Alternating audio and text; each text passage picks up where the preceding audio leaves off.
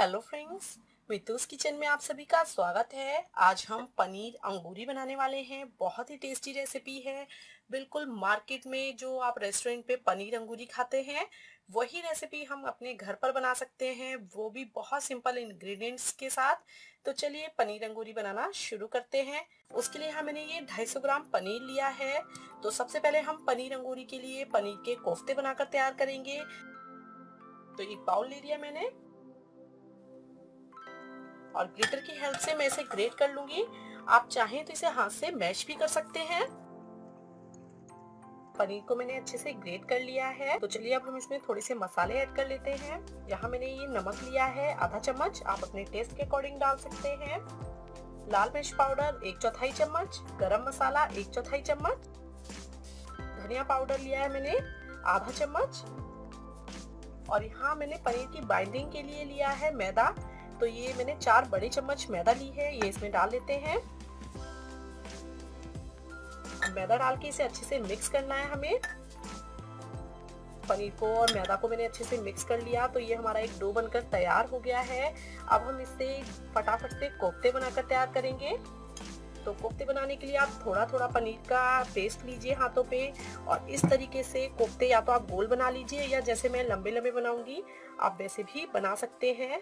तो यहाँ मैं ये इस तरीके से लंबे कोफ्ते बनाने वाली हूँ। इस तरीके से आपको लंबे लंबे कोफ्ते बना लेने हैं। तो इसे हम एक प्लेट पे रख लेते हैं और इसी तरीके से बाकी कोफ्ते बनाकर भी तैयार करेंगे। तो फ्रेंड्स, यहाँ मैंने थोड़े से कोफ्ते बनाकर तैयार कर लिए हैं। ये मैंने एक सर्विंग के लिए कोफ्ते बनाकर तैयार किए हैं। अंगूरी कोफ्ता जो होता है, वो जब आप सर्व करते हैं, तभी आप उसे फ्राई करके तभी ग्रेवी में डालें। पहले से बनाकर ना रखें, क्योंकि उसका क्रिस्पीनेस चला जाता है। तो ये एक ट्रिक है, आपको इसे यूज़ करना है। तो मैंने यहाँ आठ कोफ्ते बनाए हैं। मैक्सिमम आठ कोफ्ते एक प्लेट में सर्व कर सकते हैं आप। इन्हें मैं साइड में रख देती हूँ। इन्हें हम सबसे एंड में फ्राई करेंगे। तब तक पहले हम ग्रेवी बनाकर तैयार कर लेते हैं। तो यहाँ मैंने ग्रेवी बनाने के लिए दो मीडियम साइज़ के प्याज को बारीक काट लिया है। बिल्कुल बारीक बारीक काटना है हमें। ये देखिए इस तरीके से बिल्कुल बारीक बारीक काट ले। और यहाँ आधा चम्मच जीरा लिया है, साबुत जीरा लेना है, एक चम्मच। अदरक का पेस्ट लिया है, आप लहसुन यूज़ करते हैं तो अदरक, लहसुन का पेस्ट यूज़ कर सकते हैं। और यहाँ मैंने एक छोटा सा दालचीनी का टुकड़ा लिया है, दो पत्ते लिए हैं, तेज पत्ते लिए हैं। और यहाँ मैंने ये लिए हैं दो लौंग और ये दो हरी इलायची हैं, जिन्हें मैंने इस तरीके से कूट लिया है हल्का सा। बस हमें ये खड़े मसालों में ये लेना है। यहाँ मैंने टमाटर लिया है तो चार मीडियम साइज़ के टमाटरों को इस तरीके से रफली काट लिया है। दो हरी मिर्च ली है, ये तीखी वाली हरी मिर्च है, अगर आप कम तीखी यूज़ कर रहे हैं तो आप इसे थोड़ा ज़्यादा भी ले सकते हैं। और यहाँ मैंने छह से सात काजू लिए हैं, जिन्हें मैंने थोड़ी देर के लिए पानी में भिगो कर रखा था। तो इन सभी को, इन तीनों चीज़ों को हम मिक्सी के जार में डालकर ग्राइंड कर लेंगे। अगर फ्रेंड्स आप काजू नहीं डालना चाहते तो मत डालिए। लेकिन काजू डालने से टेस्ट बहुत अच्छा आता है, इसलिए मैंने यहाँ काजू का यूज़ किया है। तो चलिए फटाफट से पनीर अंगूरी के लिए ग्रेवी बनाना स्टार्ट करते हैं। पनीर अंगूरी बनाने के लिए यहाँ मैंने कढ़ाई में दो बड़े चम्मच ऑयल गरम कर लिया है। आप इसकी जगह बटर ले सकते हैं, देसी घी यूज़ कर सकते हैं, लेकिन मैं इसे ऑयल में बना रही हूँ। तो सबसे पहले हम इसमें जीरा डालेंगे। जीरा अच्छे से भुन गया है तो इसमें ये दालचीनी का टुकड़ा डाल देते हैं। हरी इलायची डाल देते हैं, लौंग डाल देते हैं, तेज पत्ता डालेंगे। सभी चीज़ों को हल्का सा भून लेते हैं। सभी चीज़ें भून चुकी हैं तो अब मैं इसमें ये प्याज डालूँगी।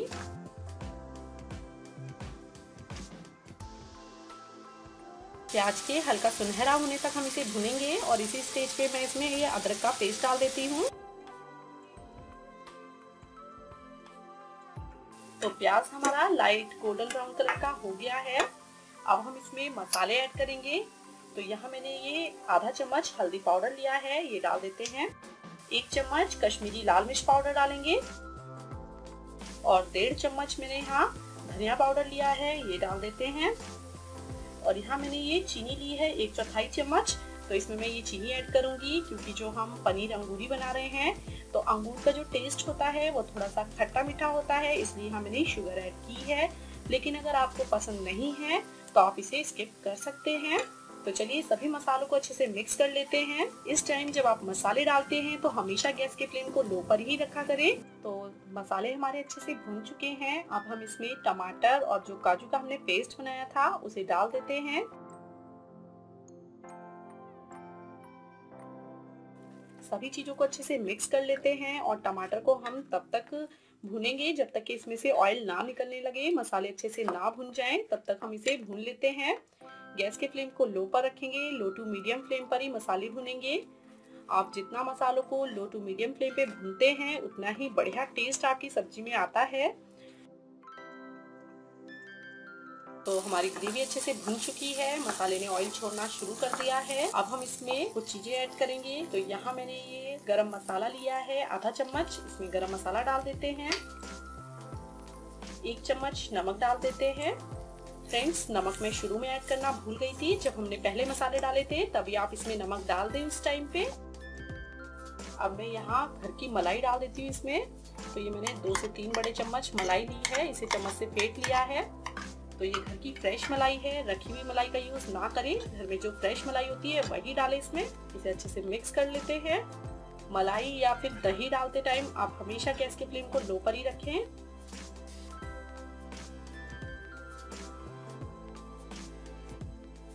ग्रेवी हमारी अच्छे से भून गई है। अब हम इसमें पानी डाल देते हैं। यहाँ मैंने एक कप पानी लिया है। मैं इसमें एक कप पानी डालूँगी। को गाढ़ी ग्रेवी पसंद है तो आधा कप पानी डालिए। और थोड़ा पतली ग्रेवी पसंद है तो थोड़ा पानी बढ़ा सकते हैं और भी। तो इसे अब हम ढककर 15 मिनट के लिए लो फ्लेम पर पका लेंगे। तो 15 मिनट हो चुके हैं। ढक्कन हटाकर चेक कर लेते हैं। ये देखिए, हमारी कितनी बढ़िया ग्रेवी बनकर तैयार हुई है। कितना बढ़िया कलर आया ग्रेवी का। इसे अच्छे से मिक्स करते हैं।